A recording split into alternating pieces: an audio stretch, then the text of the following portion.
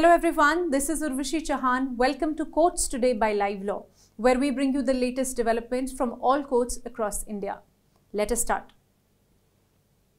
In an important update, CJI Chandrachud today orally remarked that he would soon be constituting a seven judge bench to hear the constitutional issue regarding money bills.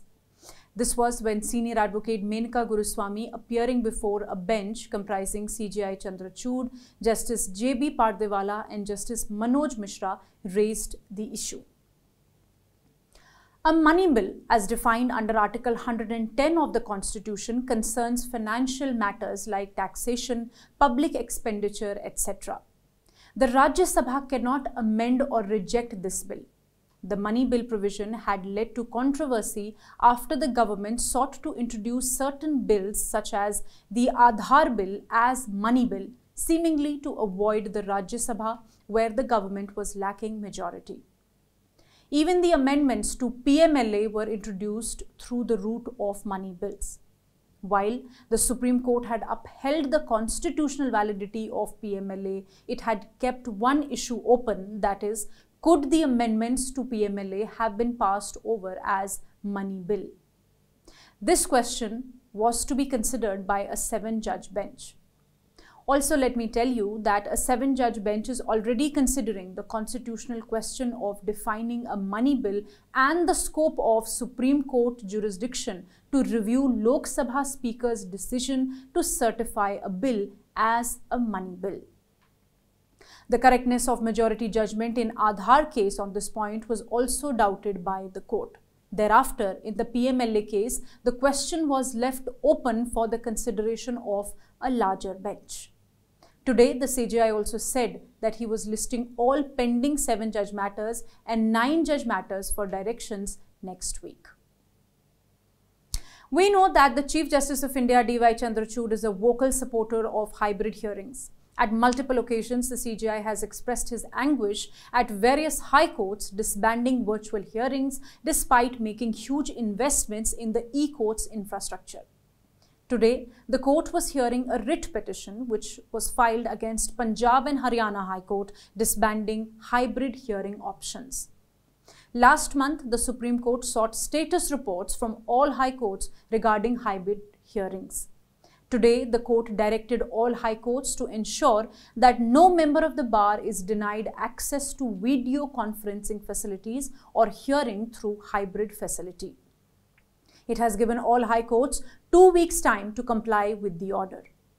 The bench of CJI Chandrachud, Justice J.B. Pardiwala and Justice Manoj Mishra issued several additional directions with regard to video conferencing facilities across high courts and tribunals.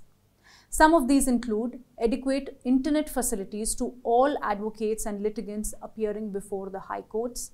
Links available through video conferencing must be made available in the cause list and standard operating procedure for litigants to avail access to hybrid hearings expressing concerns about low internet connectivity in northeastern states, which is preventing the high courts there from providing video conferencing facilities, the court directed Union Ministry of Information Technology to ensure internet connectivity is made available to all courts in northeast to ensure access to online hearings.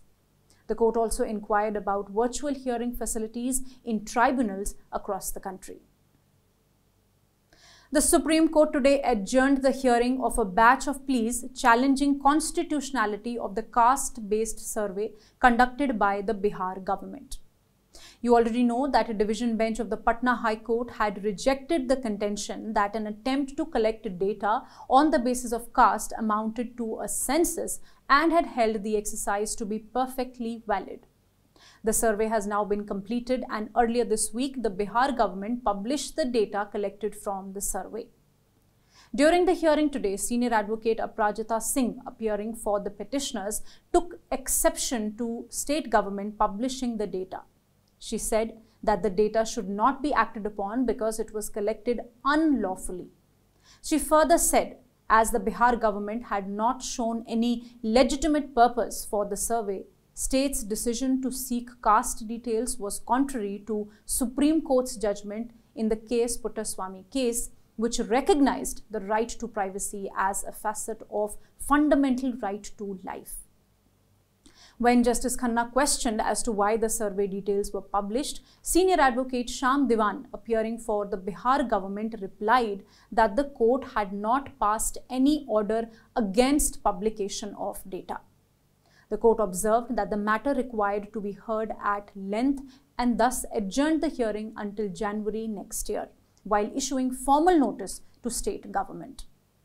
The court also refused to pass any order of stay or status quo to restrain the state from acting on the caste survey data.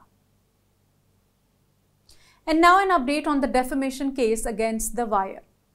Ex-JNU Professor Amita Singh has filed a criminal defamation case over a report published in The Wire that she prepared a dossier allegedly depicting JNU as a den of organized sex racket.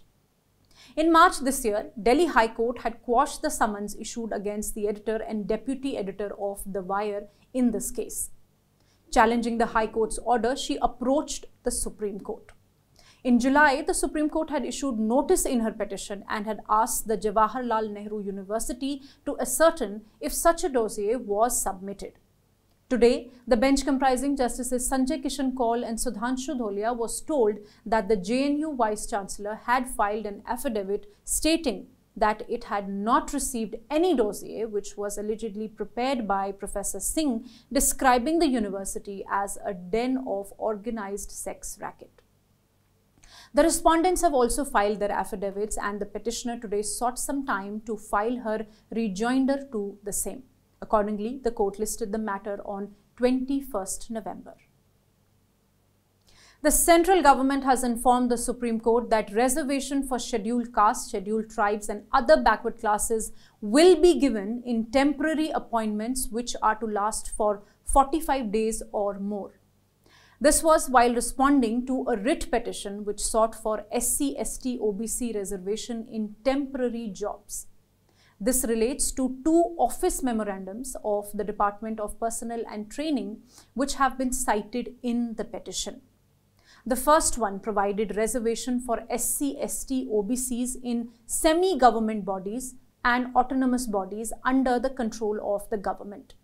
The second one, cited by the petitioners, formulates a reservation policy in respect of appointments to central government posts and services applicable for SC, ST, OBC candidates in temporary appointments. The petition submitted that various departments and ministries of the Government of India have not even maintained the reservation policy. As per the RTI response received from various ministries of the central government, there was clear indication that the reservation policy was not being implemented in relation to the contractual or outsourced manpower that in reality, no reservation policy is actually implemented under the scheme of the office memorandums issued by the central government. Last year in December, the Supreme Court had issued notice in this petition. Now, the central government has informed the court about an office memorandum of November 2022 where it had directed all ministries and departments to ensure that reservation for SC, ST and OBC be made in all temporary appointments which are to last for 45 days or more. Accordingly, the bench comprising Justices Sanjeev Khanna and S.V.N. Bhatti disposed of the writ petition. But the bench clarified that in case there was violation of this office memorandum, it would be open to the petitioners to take recourse to appropriate remedy. Three days back, a Delhi court had sent online media outlet NewsClick founder Prabir Purkayastha and Human Resources head Amit Chakrabarti to seven days of police remand in a case filed under UAPA following allegations of the portal receiving money for pro-China propaganda. They have now moved the Delhi High Court challenging the same. Justice Tushar Rao today heard the matter. Senior advocate Kapil Sibal, appearing for Purkayastha, submitted that the arrest was illegal and that no grounds of arrest were given to him and it was in violation of the Delhi High Court rules which say that an accused is entitled to counsel. This was because the remand order was passed without hearing Purkayastha's lawyer and without considering his response to the remand application. The Delhi High Court has sought response of the Delhi police in the matter. At the request of SGI Tushar Mehta, the matter was posted to 9th October. Election freebies are the incentives, gifts, or promises that political candidates or parties offer to voters during an election campaign. These freebies are often designed to sway voters and gain their support. These might be promises of financial benefits, subsidized goods and services, or cash handouts. The Supreme Court today issued notice on a writ petition challenging the cash assistance offers announced by Chief Ministers of Madhya Pradesh and Rajasthan as election freebies. The petitioner, Bhattulal Jain, submitted that the financial situation of Rajasthan and Madhya Pradesh was very bad, as evidenced by the reports of Reserve Bank of India. Nevertheless, the chief ministers of these states had announced cash benefits a few months ahead of the assembly elections, which are due the end of this year. He contended that the situation in the state of MP is so bad that public properties have been mortgaged by the state to take loans. The apex court agreed to consider the matter and said that a line has to be drawn between what is public interest and what is not. Nothing is more atrocious than permitting the government to distribute cash because ultimately the burden would fall on tax-paying citizens of the country.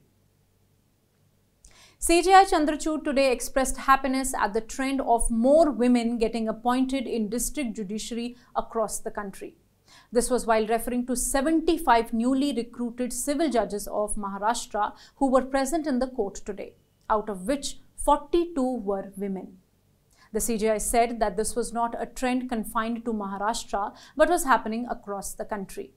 The CJI also lauded the fact that some of the new recruits were multi-talented persons, one being a state-level cricket player, another a trained gymnast, and some were artists. Thank you for joining us. If you wish to know more details about the cases I mentioned here, you can visit our website at www.livelaw.in. Stay ahead with quick legal updates only on Live Law. Do not forget to like, share and subscribe and support us. You can also support us by donating through the thanks button at the bottom of our videos or consider becoming a member at just 89 rupees per month.